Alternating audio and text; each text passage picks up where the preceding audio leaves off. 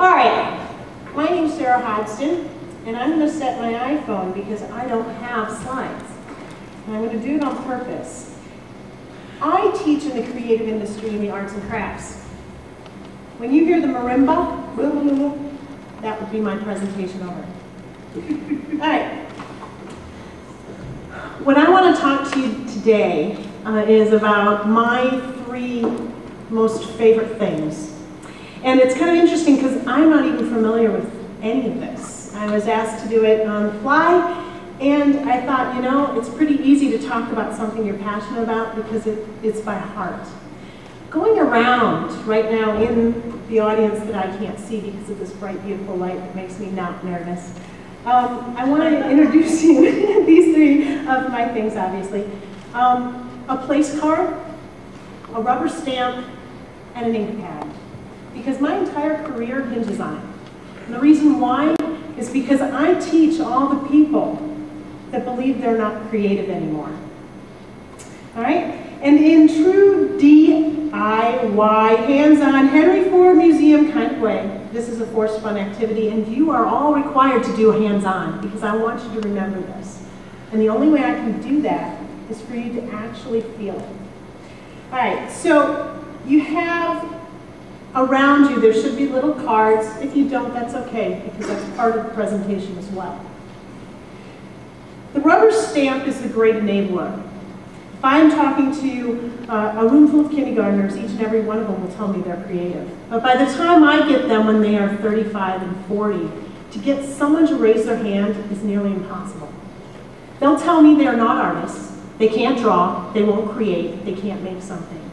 And I tell them, well, how the heck are you going to be self-reliant? Each one.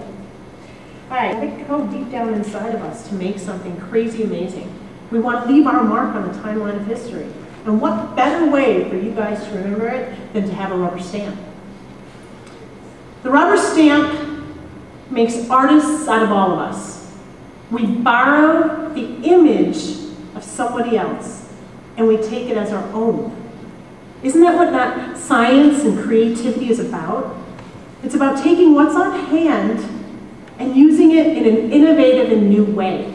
And each one of us is enabled with that capability if we just picked up the damn stamp. Okay? How many people don't do it? If it passes you by, you're one of those folks. And your friends and neighbors next to you, out of peer pressure, are going to make you stamp that ink pad. Okay? So I wanted to talk about the process there. It's a wooden stamp, it's vulcanized rubber, it's made to last. That stamp is fairly new because the image was made just for Maker Faire.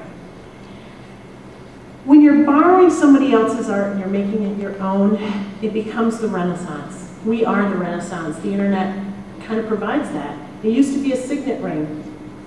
Each one of us is insanely and magnificently unique. And what's so cool about a rubber stamp is that we are allowed to imprint on somebody else. And in that motion, in that moment, depending on what substrate it is stamped upon, which could be a wall, it could be a surfboard, it could be the bottom of a shoe, it's going to leave something of itself on you, and it alters the image itself. Ideas are rubber stamps. People are rubber stamps. Our images are changed. The picture and the way we see things are changed each and every time we are used and allow ourselves to be used. I want you to notice the ink pad, ladies and gentlemen. It's dark in here. And I chose an India ink pad. It's archival, it's waterproof, it's black on purpose against white. You are not meant to blend in.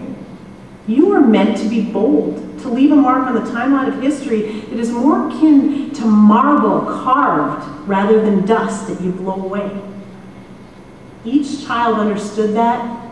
Each moment would be marked with purpose instead of being wasted and frittered away on being famous or being the next American Idol. The last thing is the place card, and this is our my last 30 seconds. It's because you have a reservation at the table, ladies and gentlemen, and you're expected to show up. Each one of those place cards is an open fold. And in it should have all the unique qualities that who you are inside. You come to the table with something, and you come with the ability to make. Point is, is that if you stop being nouns and you allow your name to be a verb, then things here would be a completely different ball of wax. My time's over. I hope you make your mark.